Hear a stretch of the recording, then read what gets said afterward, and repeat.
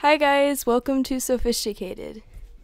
Hi guys, so this is this is SoFISHticated SoFISHticated's cousin and today I'm going to be drawing a Pikachu.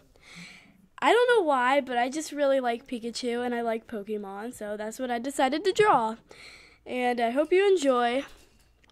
This took me a little while and I really like how it turned out, so yeah, I decided the colors to be like nice and coated together and yeah, so.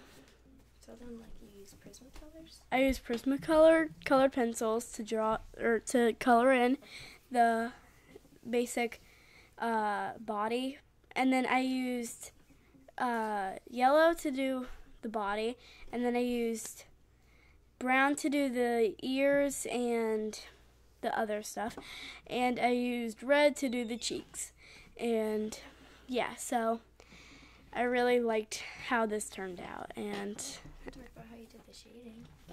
and so what I did for the shading was, um, I did two browns. It's a, it was like a light brown and a dark brown, and then for the for the um, body I did a yellow and another yellow, and then for the cheeks I did two reds.